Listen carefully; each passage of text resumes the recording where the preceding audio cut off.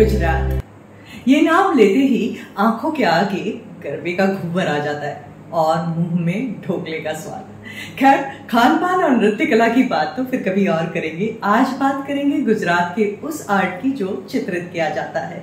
हालाँकि जैसे मैंने पहले भी कहा, कला कई सीमाओं में नहीं बंधी हुई होती। वो तो अपनी सीमाएँ लांग करके अपने रंगों को से सबको एक साथ में बाँध देती और हमारी एकता का प्रतीक होती है।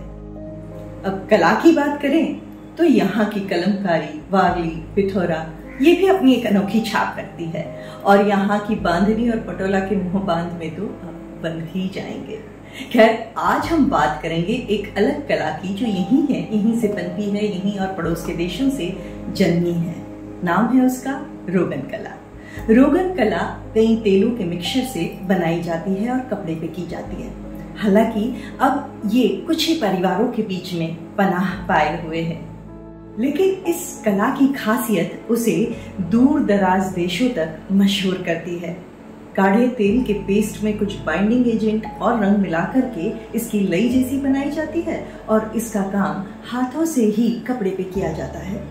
कहा जाता है कि ये दुल्हन के लिबासों पर खूब खिलती थी। ये लगभग 400 साल पहले पर्शिया से कच्छ आई थी। हमेशा की तरह मैं फिर कहूँगी कि कला सीमाओं में नहीं बंधी हुई होती।